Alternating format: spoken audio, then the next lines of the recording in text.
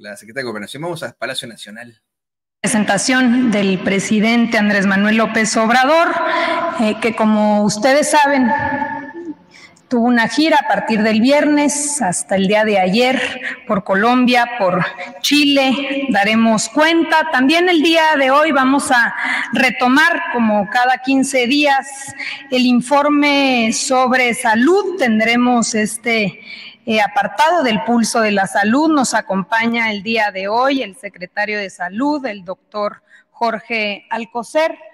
También nos acompaña el maestro Zoé Robledo, director general del IMSS, para que nos puedan dar cuenta de los avances en materia de salud y también en la consolidación de IMSS eh, Bienestar. Em, les platicamos sobre la gira del día de ayer. Ayer comentábamos que el presidente estaría eh, concluyendo su gira eh, por Chile. El presidente Andrés Manuel López Obrador participó en las actividades por el 50 aniversario del golpe de Estado en Chile, en Palacio de la Moneda, por invitación del presidente Gabriel Boric. Eh, en el acto asistieron diferentes familiares de desaparecidos, de las víctimas de la dictadura de Pinochet, además de invitados internacionales. También estuvo presente el presidente de Bolivia, eh, el presidente de Colombia, el presidente de Uruguay.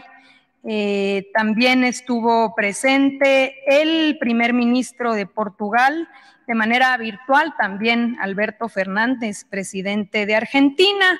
Y por nuestra parte aquí vemos algunas imágenes. El presidente estuvo acompañado de la doctora Beatriz Gutiérrez Müller, también estuvo por allá eh, la secretaria de Relaciones Exteriores, Alicia Bárcenas, el secretario de la Defensa Nacional, el general Luis Crescencio Sandoval, estuvo el secretario de Marina, el almirante Rafael Ojeda y también de la Embajada de México en Chile, Laura Moreno.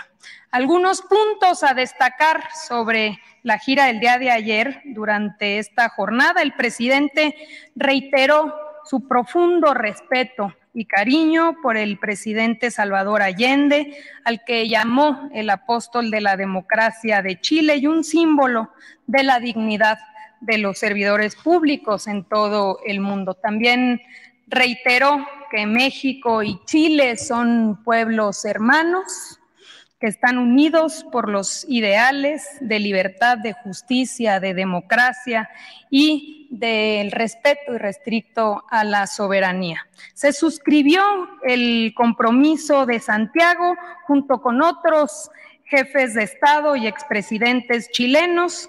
Este documento enuncia cuatro puntos para defender y cuidar la democracia y el Estado de Derecho. Fue una gira exitosa eh, y finalmente ya está nuestro presidente en territorio nacional.